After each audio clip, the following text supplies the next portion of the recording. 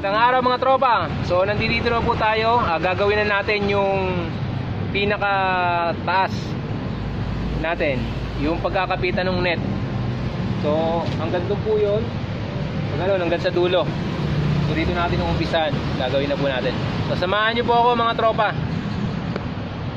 Let's go.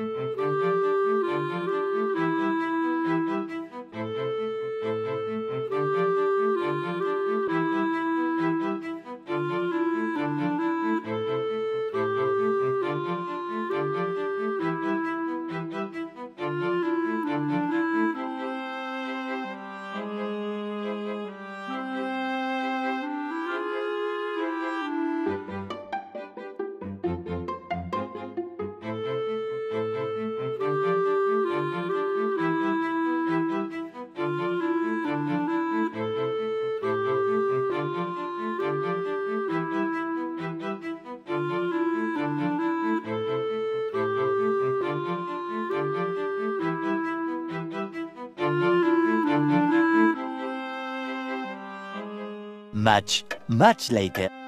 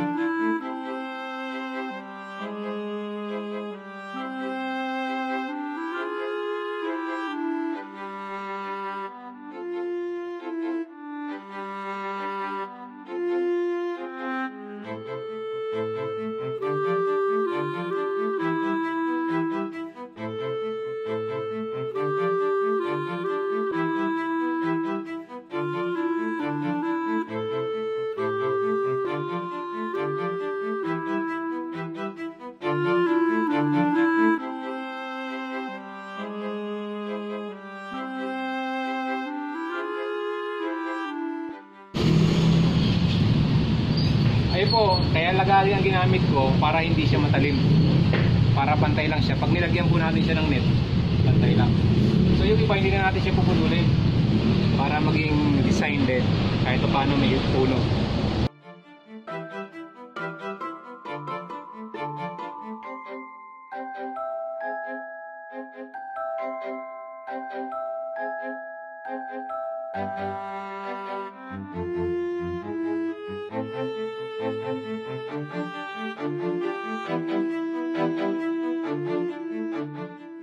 Eto na mga tropa peeps. Tapos na po ang structure ng ating garden house.